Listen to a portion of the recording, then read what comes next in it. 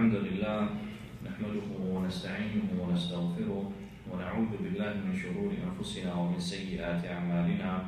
من يهده الله فلا مضل له ومن يضلل فلا هادي له وأشهد أن لا إله إلا الله وحده لا شريك له وأشهد أن نبينا محمدا عبده ورسوله صلى الله عليه وعلى آله وصحبه أجمعين.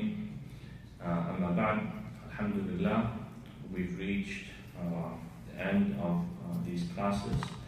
Um, in the beginning we mentioned that uh, we might not be able to go through uh, all of the names uh, in one go uh, so we'll go through as many as we can and alhamdulillah we've gone through a good portion of the names uh, and we've reached today the name of Allah subhanahu wa ta'ala, Al-Hadi. Uh, Al-Hadi in uh, Arabic, the translation uh, into English is the one that guides or the one that provides the guidance. And there are many verses in the Quran and hadith from the Prophet wasallam, uh, that tell, tell us uh, that Allah subhanahu wa ta'ala is the one that guides. Uh, Allah Azza wa Jalla says in the Quran, وَإِنَّ اللَّهَ لَهَادِ الَّذِينَ آمَنُوا إِلَى صِرَاطٍ مُسْتَقِيمٍ And Allah subhanahu wa ta'ala says, وَكَفَى بِرَبِّكَ هَادِيًا وَنَصِيرًا um, and these are just a few verses. There are many other verses and many ahadith from the Prophet sallallahu alaihi wasallam. But in order for us to understand it, uh, just like we, uh, we've understood uh, some of the other names, we need to understand it in it, its proper, um, in its proper meaning and its proper context. Uh, when someone says Allah subhanahu wa ta'ala is the one that guides, then people only think of one type of guidance, right? When in reality, guidance comes in many different forms. Um, so the scholars in Islam, they've divided up into four, some have divided into more than that. Uh, so we'll go through some of them here, inshallah, in today's class. Uh, the first uh, form of guidance, uh, the scholars in Islam, they refer to as al-hidayah al-amma, meaning general guidance. And that has nothing to do with uh, the religion in particular, uh, but rather it is a general thing, um, meaning that Allah subhanahu wa ta'ala is the one that guides His creation to their maslahah, to what benefits them. So this is for the mu'min, for the believer, for the kafir, in terms of this world, Allah subhanahu wa ta'ala is the one that guides them to the education, that guides them to whatever they desire in this world. Um, and similarly with other creations, uh, Allah subhanahu wa ta'ala is the one that guides uh, the animals, um, uh, makes them uh, leave, in a hadith it mentions that the birds, they, they leave their nest uh, hungry with empty stomachs. And then they go out having tawakkul, placing their trust in Allah subhanahu wa ta'ala. And then they come back with their uh, bellies, their stomachs full, right? And who is it that provides for them? Who is the one that guides them to this provision? It is Allah subhanahu wa ta'ala. Um, when, they, when they speak about uh, you know, certain animals, when they, they are born, uh, they are born in one particular place, and then they uh, they travel and they go to many different places in their lifetime. But when it comes to themselves having children, they come back to that same place that they uh, were first uh, that they were born into. Right? So they come back even if they travel far distances. Uh, the birds that we see, they travel in the winter time far, far away. Right? And subhanAllah, some of them, uh, some of these scientists and people who have studied these birds, they say that these birds, they travel uh, to the same places. Right? They might leave Victoria and they travel to South America or wherever they go, and they go to the same region. And then they come back. And even if a bird has never been It is as if there is something that is guiding this bird. So in Islam, we believe that Allah subhanahu wa ta'ala is the one that guides not only the believers, as we will speak about later, but all His creation. And this guidance is a general guidance. And Allah subhanahu wa ta'ala guides the uh, creation to their um, to that which benefits them.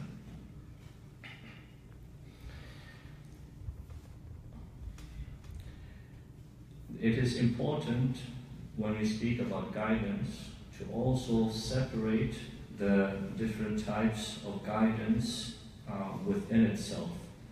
By that I mean that human beings are given uh, a certain type of guidance. Right?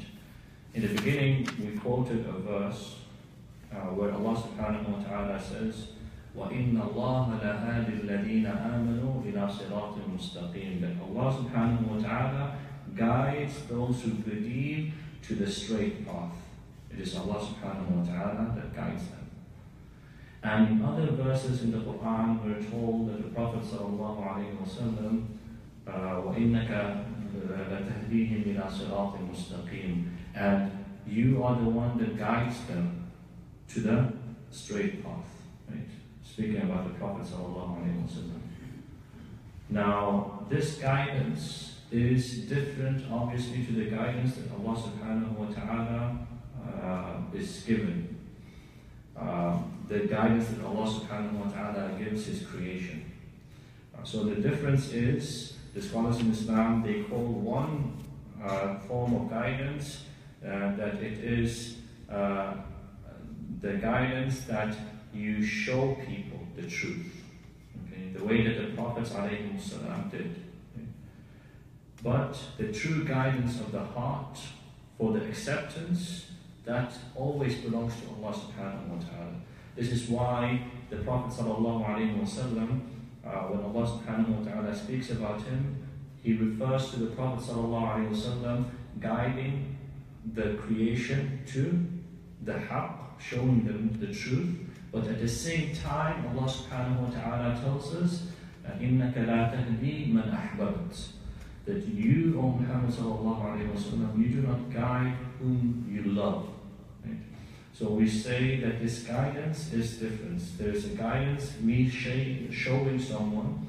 Allah subhanahu wa ta'ala says in the Quran, uh, "Udru ila sabili rabbika bil hikmah." Right? Uh, ila akhir al That Allah subhanahu wa ta'ala is calling us to invite people. Right?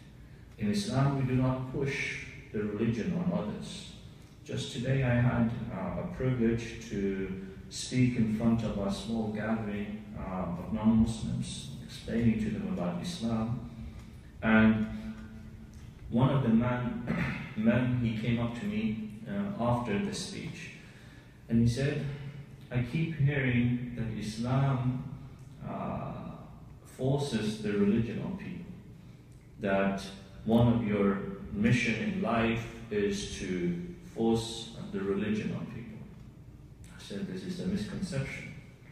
Yes, we would love for people to become Muslims, but at the same time, we understand that Allah subhanahu wa ta'ala Himself is telling us uh, that the Prophet wasallam is not to force others to become Muslims. Allah says, that the only one, the, the only thing that the Prophet ﷺ is sent with is إِنَّمَا عَلَيْكَ الْبَلَاغُ الْمُبِينَ right? To send that message. But even then, the Prophet ﷺ, he was very concerned with the fate of people. Allah Azza says, فَلَعَلَّكَ بَاخِعُ نَفْسَكَ Perhaps it might be that you destroy yourself because Allah yakunu mu'mineen, because these people do not become believers. It was something that really mattered to the Prophet But even then, he knew that his job was not to drag people and force people to say La ilaha illallah Muhammad Rasulullah sallallahu wasallam. So the Prophet sallallahu alayhi wasallam understood this guidance. And this guidance is not only for the Prophet sallallahu alayhi wasallam, but it is for anyone that threads upon the same path. Right? Anyone that learns the religion, the Prophet ﷺ said, بَلِّغُوا عَنِّي وَلَوْ آيَةً Right? Convey on my behalf, even if it is one verse, one uh, sign or some, uh, uh, an ayah, right? Something that I have passed on to you. But in order for us to do that, you have to understand the message of the Prophet ﷺ to begin with. there's an expression in Arabic, they say a person that does not possess something cannot give it to others. Right? If you do not have it, you can't give it to others. And the problem that we have today, one of the many problems, is that a lot of us, everyone wants to give da'wah. Everyone wants to stand up on the stage and speak on behalf of Islam and Muslims. But very few take the time to learn about Islam, to learn about Islam in the right way, learning the, the usul, the foundations of the religion. If you ask these people how much Quran do you know, they will shake their head. If you ask them how many hadiths of the Prophet do you know, they will shake their head. They don't know. And like Umar bin Abdul Aziz, he said uh, in one of his statements that if a person speaks without knowledge, he causes more harm than benefit. He causes more harm than benefit. And the pious people before they used to say, if only the people who did not know would have kept silent, then a lot of problems would have been solved. Right? So this guidance, coming back to the guidance, the guidance is in everyone's hand. That you can learn about the religion and you can pass on that message. So this guidance is a specific type of guidance that you show, you're showing people what the religion means. And this is separate from the name of Allah subhanahu wa ta'ala. One thing that is specific to Allah subhanahu wa ta'ala is the guidance that is uh, the religious guidance. Right? Allah subhanahu wa ta'ala guides the ones that He loves to Al Islam. Allah subhanahu wa ta'ala says in the Quran, مَن يَهْدِ اللَّهُ فَهُوَ الْمُهْتَدِ That whoever Allah subhanahu wa ta'ala guides, then he is the one that is truly guided.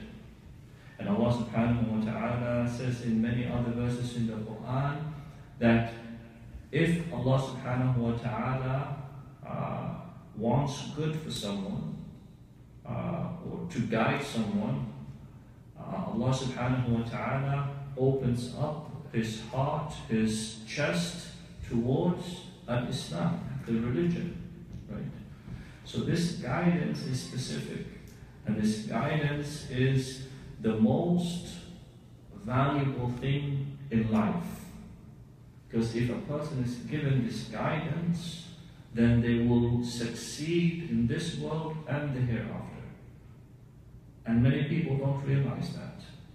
We run after worldly wealth, we run after status, we run after honor, we run after many different things in this hayat dunya. And we do not truly value that iman that Allah subhanahu wa ta'ala has uh, blessed us with. A person might lose their iman little by little without realizing it. And it doesn't matter to them. But the moment that they lose their car, the moment they lose their house, that's when people wake up. One of the previous scholars, he said, that we all fear uh, poverty, right? We fear it. Right? And you can see it in our actions. We worried day and night. If we can't make the, uh, if we can't pay the rent end of this month, what will happen? Will we be able to sleep at night? No.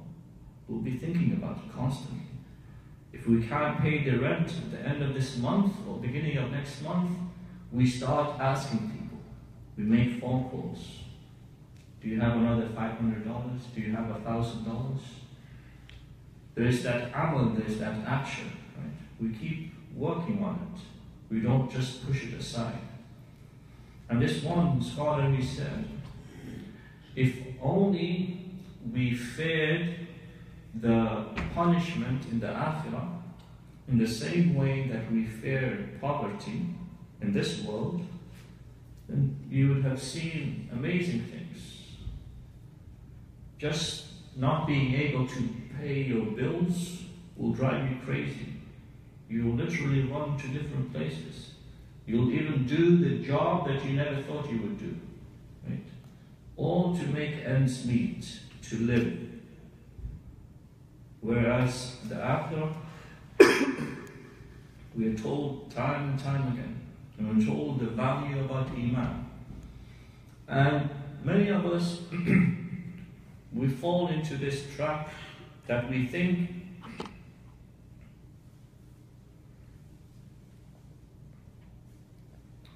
that we think to ourselves that my iman is strong, alhamdulillah.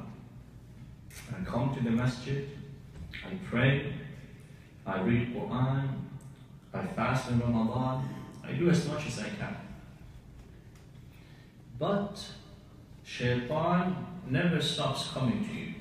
He will come to you in many different ways. And if he loses hope in you, there are other people that you are responsible for that he will try. If you have been blessed with children, Shaitan will try to come to your children. And you might be the father or mother that has the strong iman. But little by little, your child is removed from Islam. And you will be amazed and shocked the amount of things that I hear as an imam. And it's not to say just in this community. Alhamdulillah, this community is fairly good. But it is just the way it is living so far away from, uh, you know, Muslims in general. These things are bound to happen. And it's the sad truth. Some of you were here during the, the youth conference that we had. Right? And if you remember the Q&A that we had, we had a question and answer session, right? Uh, the youth were encouraged to write questions. And if you remember, some of the questions were very shocking. Many boys and girls were writing saying, I have a girlfriend and I have a boyfriend. What should I do? Right? Other people writing saying that, you know, how can we prove that Allah exists? Questions that I did not read in front of the people. So these are things that things that are happening in front of us, in front of our eyes, but we don't really notice them. Right? And it is not to say that we lose all hope. Uh, I like to think that if children, the youth, are at a stage where they feel comfortable enough to write a question ask the imam or ask someone in the community about something that they've done, then alhamdulillah, that is a ni'mah, that is a blessing. Many places in the world today, children, they youth, they do whatever they want, and they do not care who disapproves. If the imam says something, that's it. The imam is an old man. And if their parents say something, they say, my parents don't understand me. But at least we have children, youth in the community, that come to the masjid, that feel some kind of remorse or concern at the very least, that they write these kind of questions. So this guidance that Allah subhanahu wa ta'ala has given us, have we really shown gratitude for it in our actions? Sad reality is no. The sad truth is we haven't. If someone asks, asks you this one blessing that is the highest blessing in this hayat dunya, scholars they say the biggest blessing that a person ever receives is ni'matul iman. It's the blessing of iman. If someone was to ask you, how much do you pay for this blessing? Sounds like a strange question. How much did you pay for this blessing? We didn't pay anything. Right? Not even in terms of effort. Many of us were blessed enough, fortunate enough to be born into Muslim families. At least the ones that have accepted Islam. They can say, you know, I fought. I had to put, I had to sacrifice. But for us that were born Muslims, we take it for granted. And this, Allah subhanahu wa ta'ala will ask us about each and every blessing. In some narrations, it mentions that even the cold water that you're drinking, you will be asked about. That is considered to be a minor blessing. Imagine about the blessing of Iman. And the question is not just about yourself. It is what have you done for Islam and the Muslims? Did you help the religion of Allah when the call came? When people needed help? So this is a very difficult question. And it ties in with this guidance in the name of Allah subhanahu wa ta'ala that Allah subhanahu wa ta'ala is Al-Hadi. And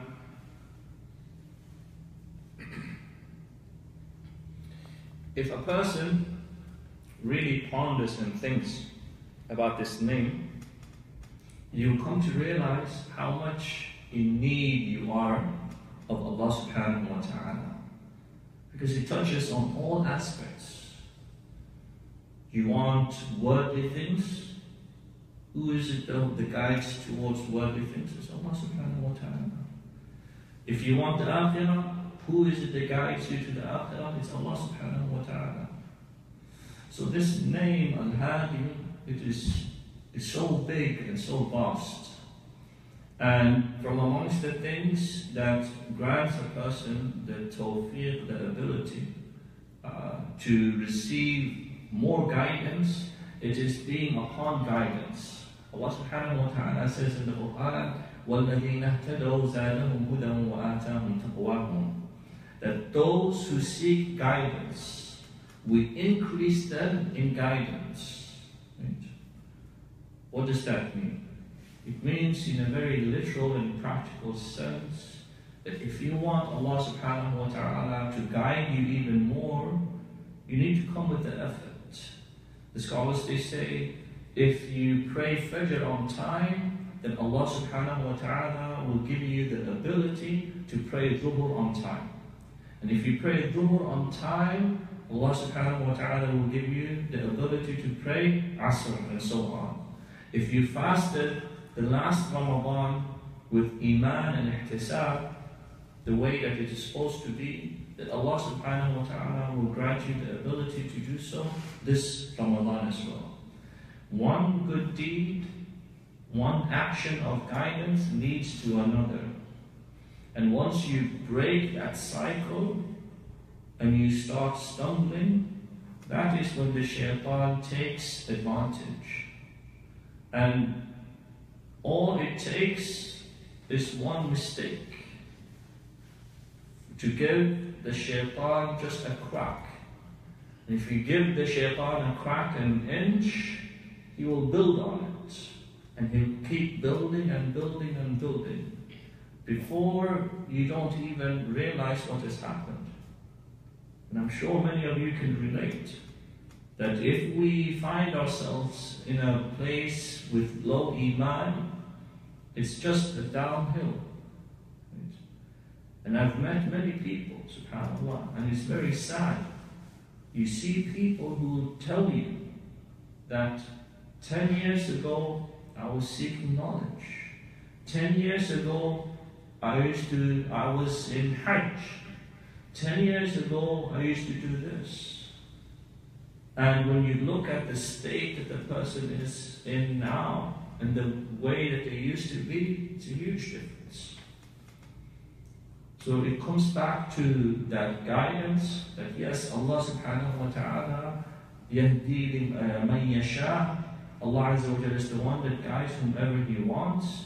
And at the same time, Allah Azza wa has promised us that if you work for the guidance, لَنَهْدِيَنَّهُمْ سُبُلَنَا That Allah subhanahu wa ta'ala is telling us that He is the one that will guide you to His path. Right? So it is not enough for us to just sit back.